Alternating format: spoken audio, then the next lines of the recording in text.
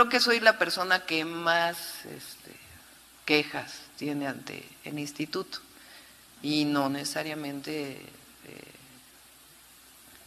hay más muestras de uno que de otro lado. Entonces, no, no, no me preocupa la verdad. Y más bien eh, ocuparnos de, de seguir adelante con la ciudad y por eso este tema que planteamos hoy, lo que planteamos ayer, pues son temas muy importantes para la ciudadanía. Y luego hay otros también que están preocupados por eh, negocios, también, hay que decirlo, por intereses. Entonces, eh, agradecer, eh, ya se hizo famosa Nicola de Caballo, eh, y, eh, y ya, a lo que sigue. A los diputados federales un llamado a, a serenarse. como- como dice es un asunto de serenarse, es poner la unidad siempre por encima de todo, que no, que no generemos eh, una disputa al interior. Eso es lo que busca la oposición.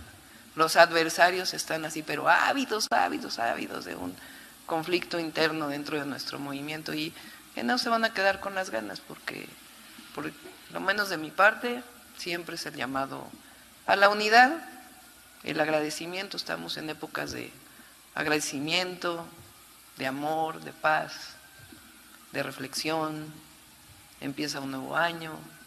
Entonces, no, no hay nada de qué preocuparse.